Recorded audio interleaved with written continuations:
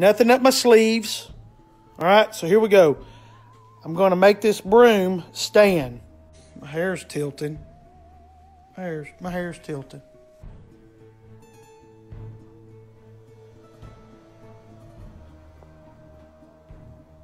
What is happening right now? I rebuke you in the name of Jesus.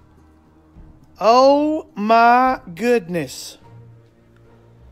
Uh uh I need Benny Hinn. Benny Hinn in your white suit. I need Benny Hinn in his white suit to pray over my house because this broom is standing up all by itself.